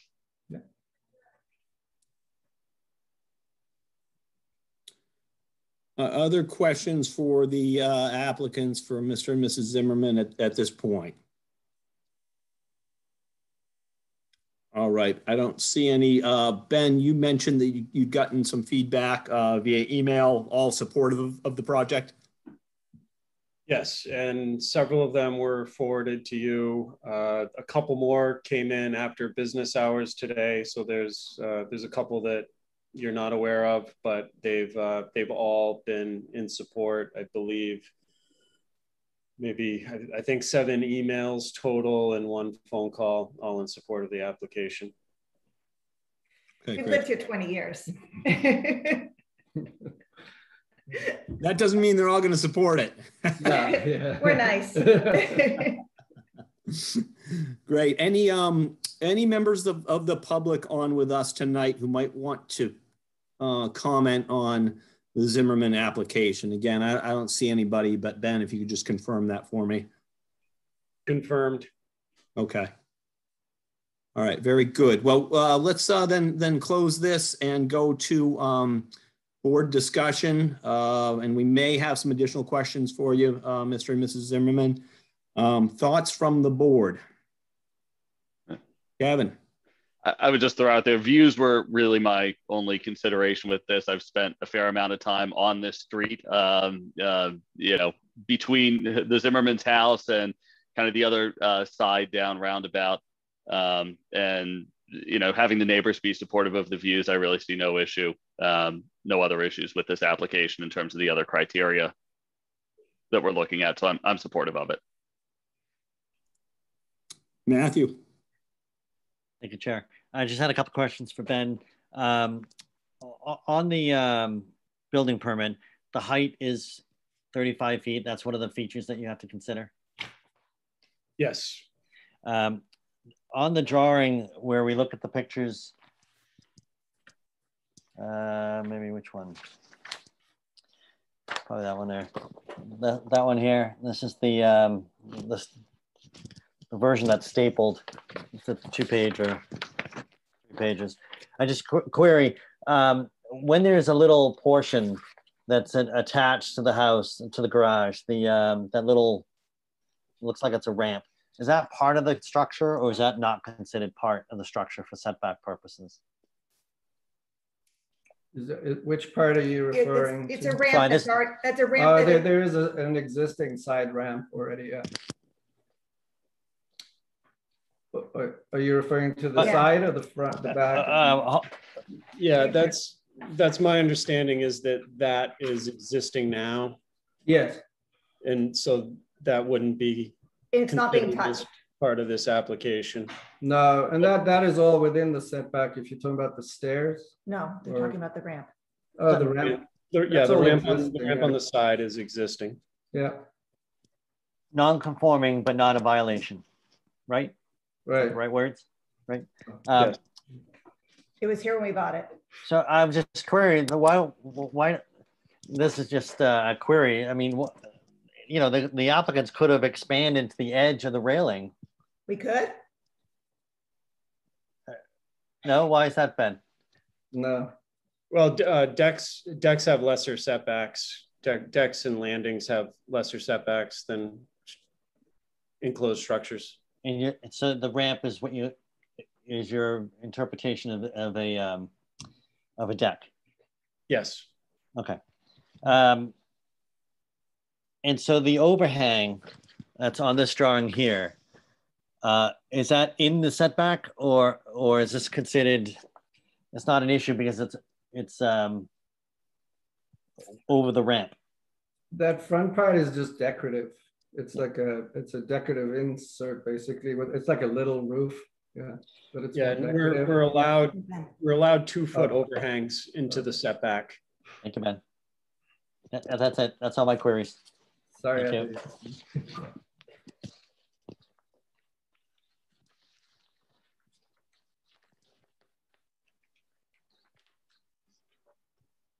What, uh, what else do we have? I think we, we, we may be into uh motion making time. Um, stick with me. There's a lot of paperwork here tonight. Sounds like uh, the, the board is uh, willing to entertain a motion to approve the request of Galen and Robert Zimmerman, owners of the property at Three Roundabout Lane, map U36 lot 77, to enlarge a non-conforming single-family dwelling based on sections 19-4-3.b4 of the zoning ordinance. Anybody up for making the motion?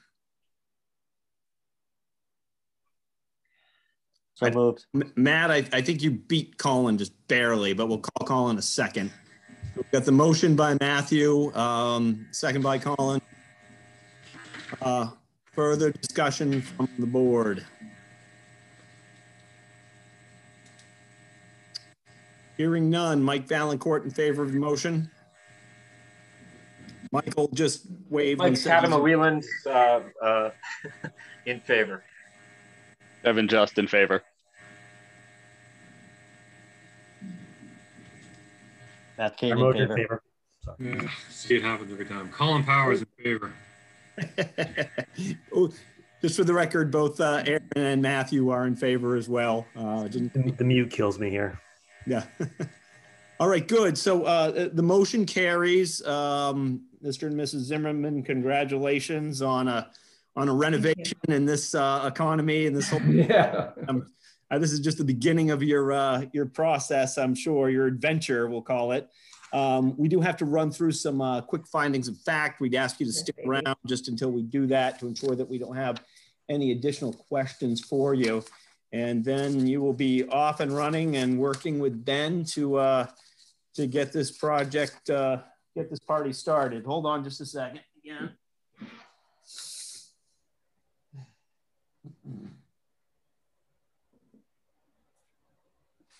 All right, here we go.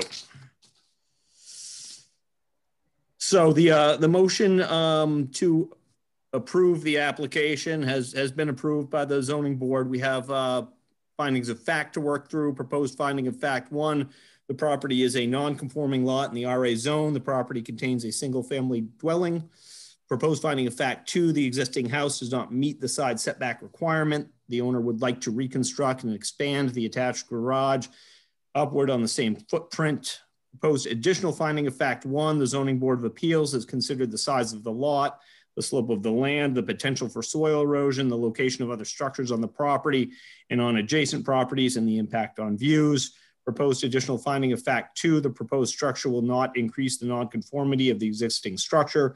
Proposed additional finding of fact three, the proposed structure is in compliance with the setback requirement to the greatest practical practical extent and proposed additional finding of fact four, the building reconstruction meets the setback to the greatest practical extent based on the criteria in section 19-4-3.b.2 and b.4 in the zoning ordinance. Um, thoughts on proposed findings and proposed additional findings?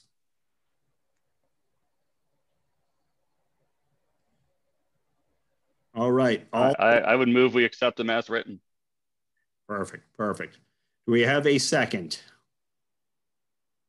Seconded. All right, we've got a second by Aaron to appro, to approve the proposed findings and the proposed, the proposed additional findings. Matthew? Yeah, I know it's late. I just want to double check.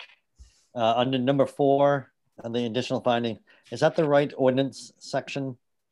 At the bottom, it's B2 and B4. You think so, Ben? Okay. We're, we're getting we're getting a nod from our code enforcement officer, so I'm going to defer Yes. to him. Yeah, Me. B4 is the section for expansion, and that refers back to B2 for the criteria. Yep, thank you. Okay, excellent. Good question. All right then, uh, all in favor? Mike Valancourt in favor. Mike Kevin Tatamone Justin. in favor.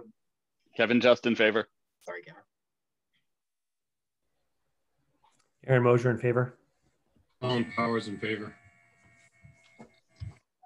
Matt Caton in favor. All right. You folks are all set. Good luck with everything. Uh, Thank you so much. your time with us tonight and uh, good luck. Thank you for your time. Thank Yep. you. Take care. Great night. Thank you.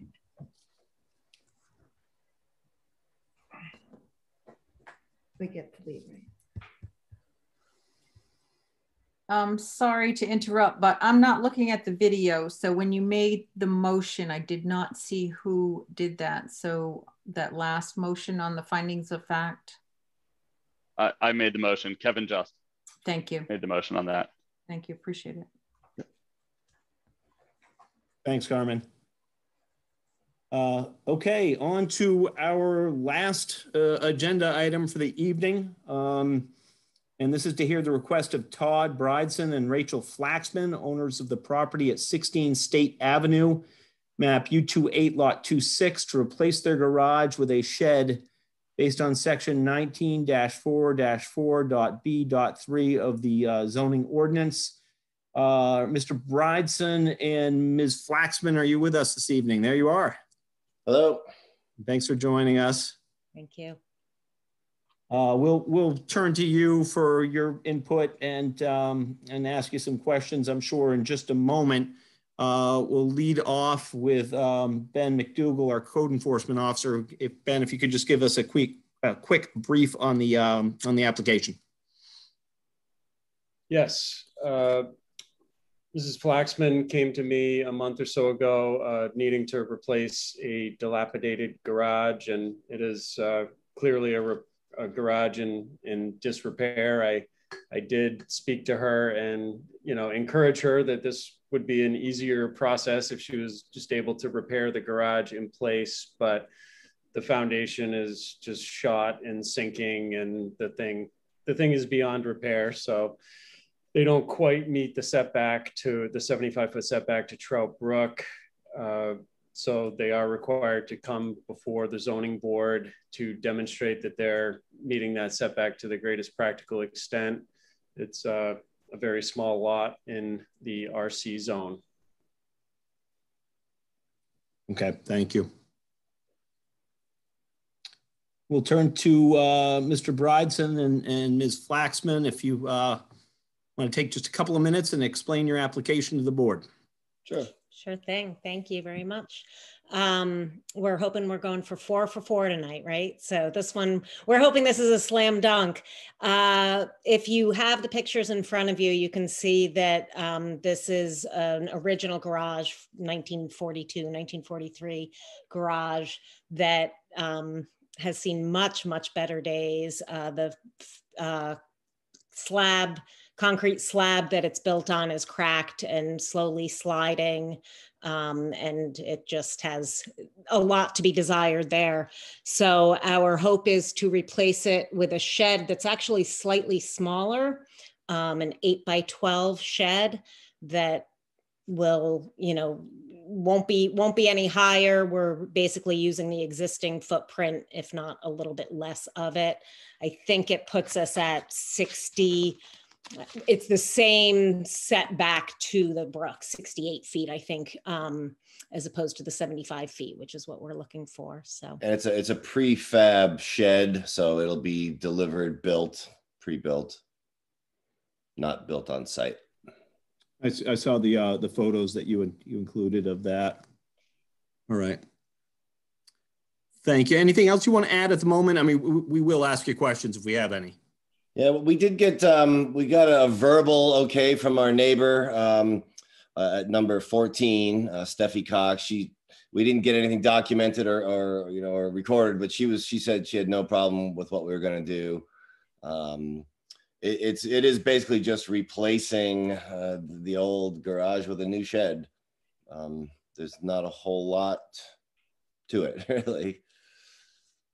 So that, that's about all I need to add.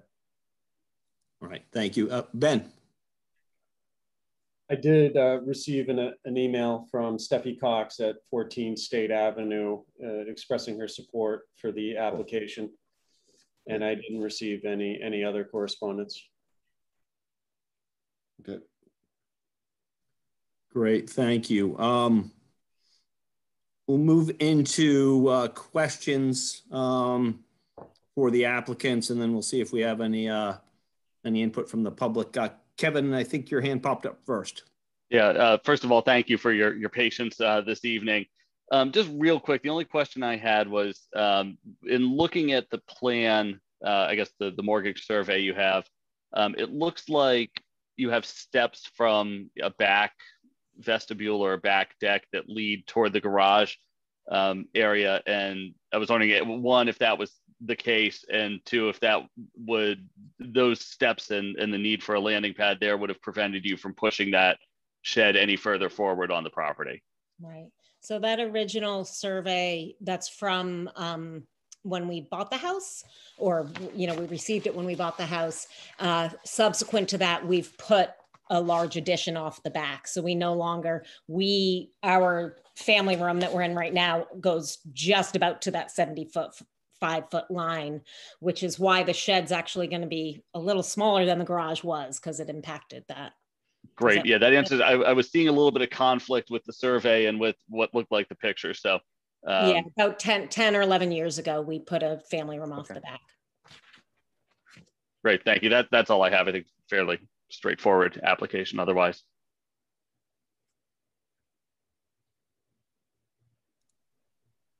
Michael? Yeah, hi. How, can you give us a, a sense of how close is that existing garage to the to the side property line, and and how how close will the the shed be? Yeah, that was about. I want to see. it's the same. It's the same distance as is as exists right now. Okay. Um, I'm gonna Well, you grab drew it on me. Yeah, I did. I did a little sketch right there. What's that? Uh, four foot seven inches. It's really light on the drawing. I see it. it's Yeah. Copied, but it's four foot seven, so it is, it's close to that property line. And so that's the existing and that's what we would be. So yeah, so it's it's not getting any closer. It, it, Correct. perfect. That's all I got. Thank you.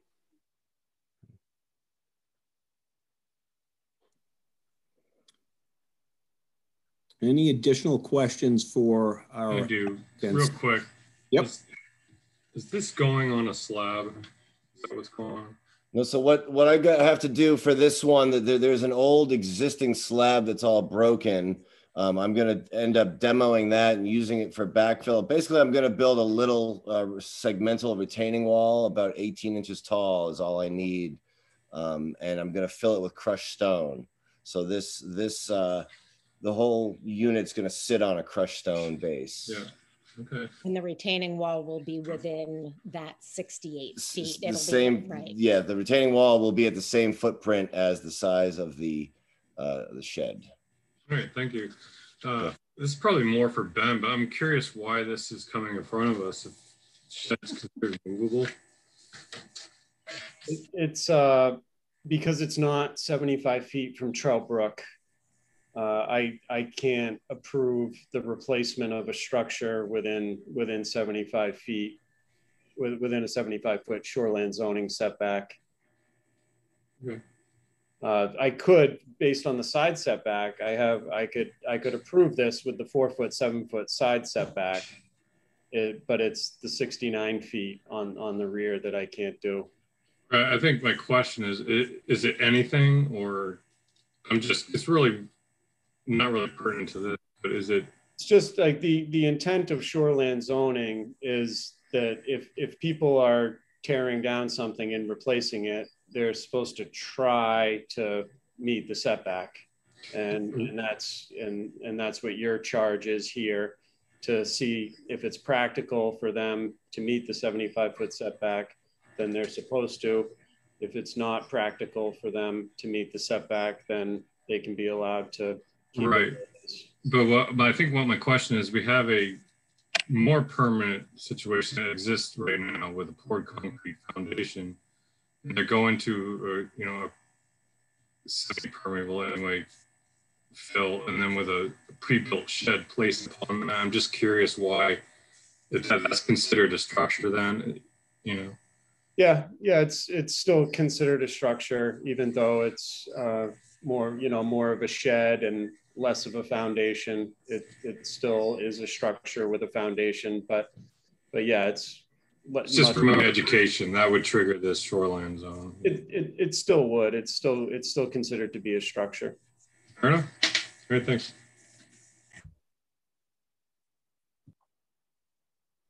Matthew, go for it. Thank you, Chair. Ben, this, uh, I had a query. I seem to recall that there's a setback requirements for, um, I can't recall the, the term now, but it's non-residential structures. Um, I seem to recall that there was some, someone wanted to put a, like a shed at the front of their pro- front corner of their property. And the, the question is, um, whether it's a, had a living arrangement in it, but do you, does that ring a bell to you? Uh, not yet. Talking about like an accessory structure, ex- Th- accessory Thank you. dwelling Yeah. units, or something So like that? I, I, th- I think that's right. So it, we're not calling this replacement or reconstruction structure an accessory structure. Right. This is just a, a Yeah. general general concept of a structure. It just so happens to be a shed that's replacing a permanent garage at one time. Yeah, it, it is, it's an accessory structure by definition. It's not an accessory dwelling unit or, or anything like that. But yeah, any, any shed or detached garage would be considered an accessory structure. So the applicant does not lose any rights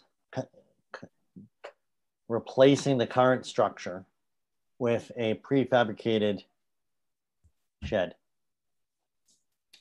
Correct. So in the, it, it means the same, you know, them doing an eight by 12 prefab shed on a stone base from a zoning perspective means the exact same thing if they poured, uh, you know, four foot frost wall foundation with a slab and stick built an eight by 12 structure on top of it. okay, thank you.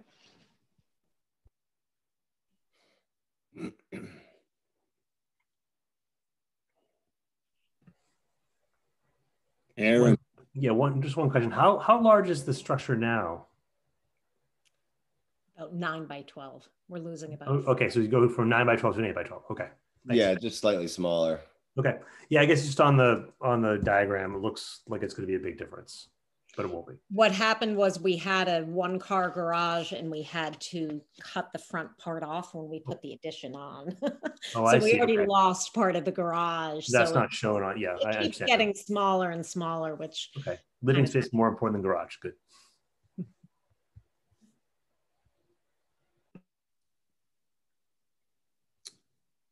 All all right, any additional questions for the applicants at this point? All right. I'm not seeing any, so uh, any members of the public available to comment uh, on this particular application? I don't see anybody else on. Ben, do you see anybody? I don't. All right, okay.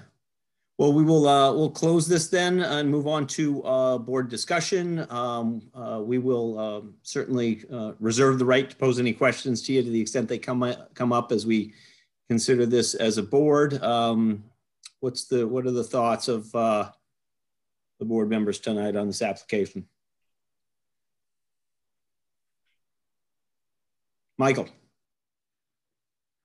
Yeah, I just after uh, after my rant about surveys earlier, I, I just wanted to wanted to uh, point out this is a a mortgage survey, but but what we have here is replacement in essentially the exact same location. So so it's uh, I I think this is fine. Um, I I think I think this application makes complete sense, and uh, I'm I'm in support of it. Thanks. Yeah, I, I'm in support as well. Um, I actually think the uh, uh, potential for soil erosion gets better by not having the foundation as opposed to having the the crushed stone, and um, probably is an improvement on the property. And I understand why it has to come here, and it makes sense. Uh, you know, you have to have that rule with the 75 foot uh, setback, um, but you know, I, I have no issue with this. All right, well, it, it sounds to me like the board is prepared to entertain the following motion, which is to approve the request of Todd Bridson and Rachel Flaxman, owners of the property at 16 State Avenue, map U28, lot 26, to replace their garage with a shed based on section 19-4-4.b.3 of the zoning ordinance. Anybody care to make that motion? So moved. All right, we've got Kevin, we've got Aaron as a second. I'll second. Great, thank you. Uh, discussion uh, from the board on, on this motion. I, I too am in, in, favor. I think this makes uh, makes perfect sense for all the reasons that uh, that Kevin and uh, Michael articulated. Um, I'll I'll vote in favor. Kevin Just in favor. Aaron Mosier in favor. Colin Powers in favor. Matt Caton in favor. Michael Tadema Wielandt in favor. All right, good, good. So the motion carries. As as you both have heard, uh, I think exactly three other times this evening. Uh, if you've been on for the whole time, we're just going to run through some findings of fact. We'd ask you to stick around for that. Um, and then I think we can all call it a night. Um, congratulations on the approval. Um, as, as far as the uh, proposed findings of fact, we have proposed finding of fact one, the property is a non-conforming lot in the RC zone. The property contains a single family dwelling and garage. Proposed finding of fact two, the existing garage does not meet the 75 foot setback from Trout Brook. The owner would like to replace the garage with a shed without getting closer to Trout Brook. Proposed additional finding of fact one, the zoning board of appeals has considered the size of the lot the slope of the land, the potential for soil erosion, the location of other structures on, on the property on, and on adjacent properties, and the impact on views. Proposed additional finding of fact two, the proposed structure will not increase the nonconformity of the existing structure. Proposed additional finding of fact three, the proposed structure is in compliance with the setback requirement to the greatest practical extent. Proposed additional finding of fact four, the building reconstruction meets the setback to the greatest practical extent based on the criteria in section 19-4-4.b.2 and b.3 in the zoning ordinance. Um, any comments from the board on the proposed findings of fact and the proposed additional findings of fact?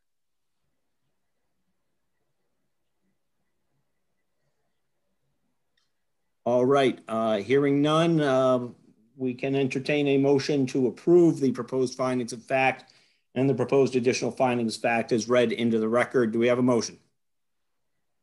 No moved. So moved. Oh, I'll second. We've got Matthew uh, on the motion. We've got Kevin on the second. Uh, discussion of the proposed findings. Okay, hearing none, all in favor. Mike Valancourt in favor. Michael Tadema Wielandt in favor. Aaron Mosier in favor. Kevin Just in favor. Colin Powers in favor. Matt Caton in favor. All right, that does it. We've approved the application. We've approved the uh, findings of fact. Uh, thank you both for hanging with us tonight and uh, good luck with the project. Thank you. Thank you very much for everybody for your time. And Ben, your daughter is really cute. Yeah. You should definitely put that uh, guitar over the top of it still. Oh yeah. Yeah. Yeah. I guess. I just Thank you. Yes, I will. Uh, we're, we're, we're signing off here. Thank you very much, all. We Thank appreciate Good it.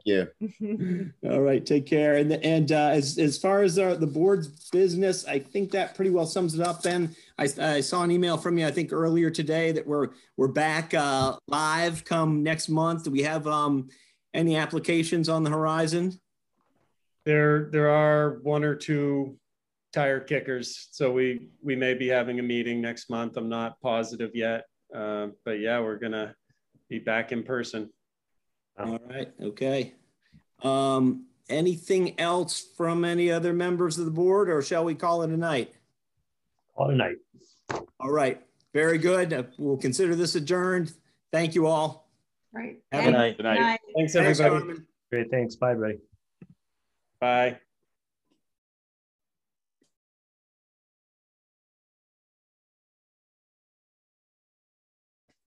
Wait, no, don't sign off. Don't sign off. Wait. No, no, no. Hello, my name is Bridget. I like to